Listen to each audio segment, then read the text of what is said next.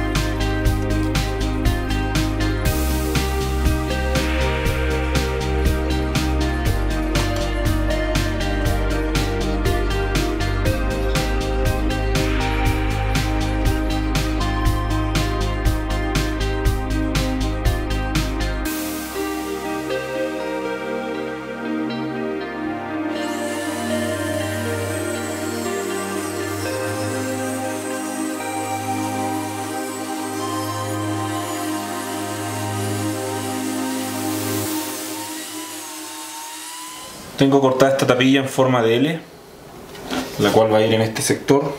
Acá también le hice el ángulo de 45 grados con la ahora. Entonces para calcular la medida que va acá, simplemente tenemos que hacer coincidir esta intersección interior con este canto. Lo podemos prensar y ahí entonces lo marcamos acá, podemos marcar la posición en la que debe ir el corte, que sería la medida interior. Una vez hecho esto, entonces ahora podemos cortar con la ahora y repetimos el procedimiento para cada una de estas tapillas y de esa manera ya tendríamos asegurado también este, esta parte superior de este cofre.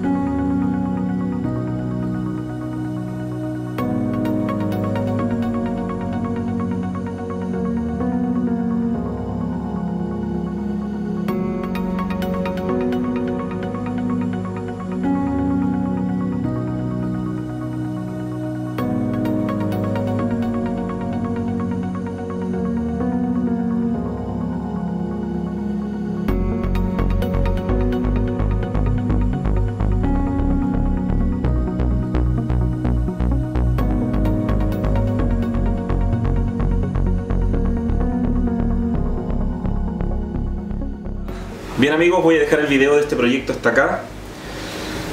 Como vieron toda la estructura fue armada con terciado, contrachapado y todas estas molduras están hechas en madera de coigüe. Eh, en este momento están solamente pegadas con, cola fría pero luego voy a poner algunos clavitos o tornillos interiores para asegurar mucho más las tapillas pero obviamente la idea es que no se vea ningún tornillo eh, en el siguiente video vamos a hacer la tapa la instalación de la bisagra también va a llevar una estructura, un marco de madera de coigüe va a tener una, chapa, un cerrojo que va a ir acá eh, también aquí las agarraderas bueno y la terminación y el acabado final. Así que no se pierdan también ese próximo video. Eso amigos, nos vemos, apóyame con un like, te invito a seguirme en las redes sociales como Instagram, búscame como Carpintero del Desierto y nos vemos en un próximo video. Bendiciones para todos.